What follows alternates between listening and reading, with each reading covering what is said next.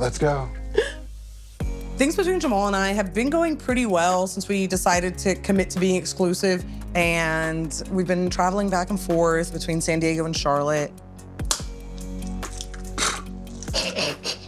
Do you see my egg cracking? That was amazing. I'm definitely still concerned about what the future holds. He's not a great communicator, and that's the only way this is gonna work. This weekend's flew by. I know. But it's good though. I feel like we always get along when we're together. It's just Yeah. like the second you leave, you suck at communication. Mm. Jamal, you don't You could be a little. text back fast enough. You don't text back at all. I do text back. Like the next day. I don't think we have to talk like 24 7. Because then it's like, what are we gonna keep talking about? Like, I'm not gonna like, work, what are you doing you all day to death? I you know, but like, it'd be nice to like know what's happening in your life.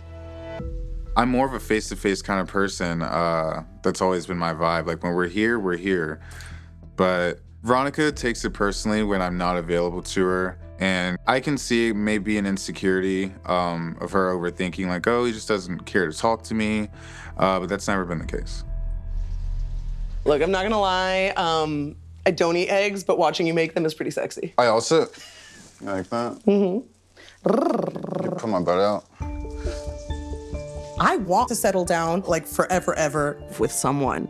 And I just want things to keep going well for Jamal and my relationship.